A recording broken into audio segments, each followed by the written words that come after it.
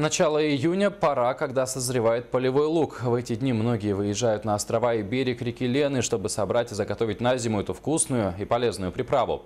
В Хангаласском районе СХПК «Хангалас-АС» начал производство зеленого лука. В селах организован пункт приема и переработки, куда население сдает только что собранный дикорастущий лук. Подробности далее.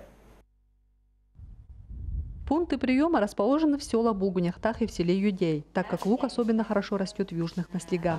Первая удочка заброшена еще прошлым летом. Тогда Хангаласас принял и заготовил 400 килограмм дикорастущего лука. Этот опыт показал, что заготовленный таким образом лук идет на расхват, ведь не все имеют возможность самостоятельно его собрать. За два дня 500 килограммов сдали. В конце следующей недели, недели уже, наверное, начнется первая продукция выпускаться. И, ну, по 250 граммов и по 400 граммов стаканчики будет расфасованы. Где наша продукция, там и будем поставлять дары природы в Якутске и в Английском области.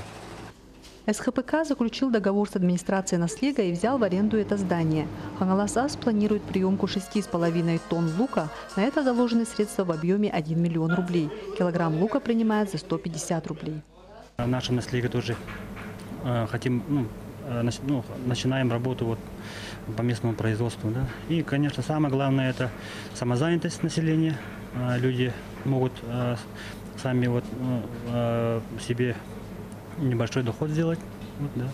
И, конечно, ну, этот, конечно, этот, работа сезонная, но этот, я хочу еще вот в будущем, э, чтобы э, вот Ханаласас, как говорил э, Сергей Петрович, э, они вот э, планируют э, приобрести лицензию на этот, э, дикоросы, этот, брусника и шиповник.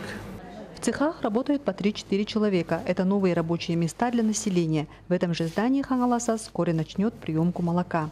Сарглана Ильина, Виолетта Засимова, Александр Ярков, НВК Саха, Хангаласский улус.